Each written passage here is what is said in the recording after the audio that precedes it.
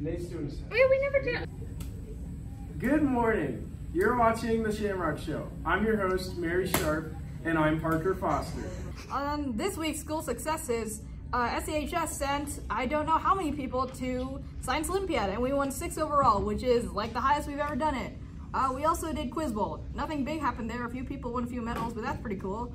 Uh, HOSA is also sending a few people to nationals or state, whatever.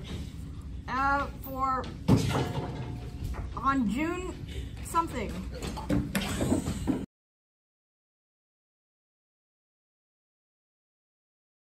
All right, so weather. Uh, for Saturday and Friday, it's going to be a little cloudy, highs of like 60s, lows of 70s. Uh, Thursday, it's going to be cloudy, partly sunny. Tuesday and Monday, it's going to be rainy and thunderstormy and windy. Um, and today, it's sunny. Hi, what's your name? Cool, amazing. That's a great name. What is your favorite subject? Stick person? Awesome. um, why are you excited for school? Nice. Last question. Who do you think will win the House Cup? Interesting. What a weird answer.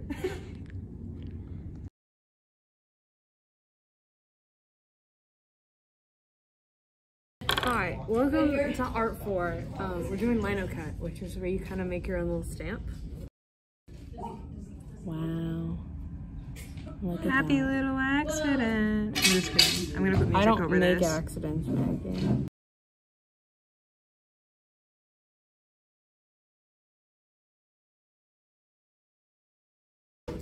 It's more complicated than that, but that's the best way to explain it. So, yeah. No, but Sam. Oh no, Sam.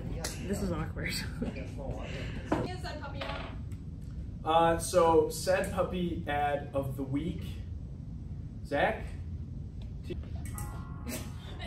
Many puppies die each year because of sickness, neglect, and many other terrible things. Let's stop this today. Action! Go ahead. I don't know. Um, dad joke of the week. What do you call a cow with no legs? Sad. Wait, no, no, no. That, cut, Oh. Oh. Spin move. That's it for this week. We hope to see you next week. I'm Parker. And I'm Mary. Hi. And this is the Shamrock Show, Season 2. What is happening? Uh, Aesthetic shot.